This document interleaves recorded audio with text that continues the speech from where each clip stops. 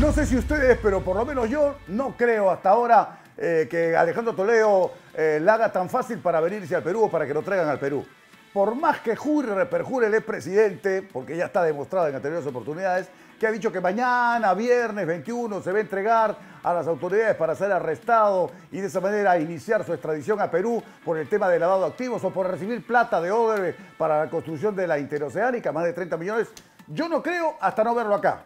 Fíjense ustedes que a última hora, ah, habiendo aceptado ya, habiendo dicho, sí, me someto a la justicia, eh, que me arresten y me voy tranquilito a Perú a defenderme, ¿qué ha pasado? Que en estos últimos minutos el expresidente Alejandro Toledo con sus asesores ha presentado una moción.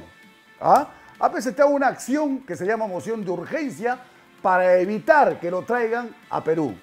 Y no lo ha hecho en California donde están viendo su caso, con el juez eh, Hickson. No, lo ha hecho en otro lugar, en Colombia lo ha hecho, precisamente para dilatar su estancia en los Estados Unidos. Ahora han soltado por ahí que Toledo, Alejandro Toledo está con cáncer, su esposa Leancara ha declarado para un medio local, habría dicho que está con cáncer, entonces podría ser otra estrategia, ¿no es cierto?, para dilatar. Él definitivamente quiere quedarse en los Estados Unidos. Alguien nos dijo uno que fue su abogado defensor, lo dijo al aire en Ampliación de Noticias Regional, en RPP, lo dijo. Miren, Alejandro Toledo no hay que tenerle mucha confianza. Él es un hombre que dice una cosa y no la cumple nunca. No sé si será tan exacto, pero por lo que estamos viendo, va a ser bien difícil, bien difícil que todos creamos que a Alejandro Toledo le dice te vamos a arrestar y él se quede tranquilito. Ya lo ha demostrado en innumerables oportunidades. Repetimos entonces, noticia de último minuto, Alejandro Toledo ha presentado una moción de urgencia para evitar ser extraditado y ser arrestado en los Estados Unidos. Se fue a otro lado, se fue a otro juzgado en los Estados Unidos. También en otras partes del mundo se cuecen habas. ¿Qué otro tema tenemos para ustedes? Ah, una tristeza tremenda, porque la última encuesta a miles de estudiantes a nivel nacional eh, sobre todo los colegios estatales, ha dado como resultados negativos. Un gran número de estudiantes no ha respondido a las pruebas o su evaluación es deficiente totalmente. Un alto porcentaje.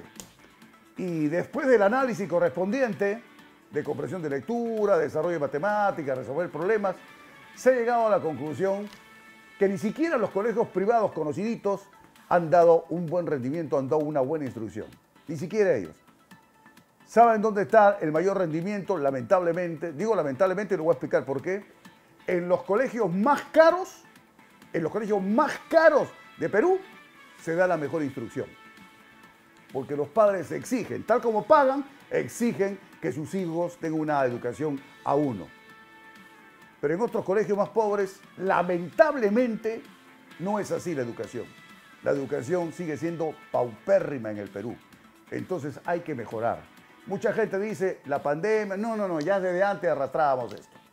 Así que hay que poner las barbas en remojo y si queremos mejorar el futuro de la educación en el Perú, tenemos que hacer una estrategia, un plan de acción para empezar de una vez, porque de lo contrario vamos a estar como esos programas cuando le preguntan a unos grandazos manganonazos, le preguntan quién descubrió América y te dicen este, el barbero de Sevilla, ¿no es cierto? Para evitar ese tipo de cosas, para evitar que no se sepa quién fundó Lima o por lo menos cuál es la capital de las capitales de las principales regiones del país, mira, tenemos que prepararnos. Si no nos preparamos, estamos fregados, fritos y además vamos a tener las autoridades que ustedes ven en diferentes partes del país.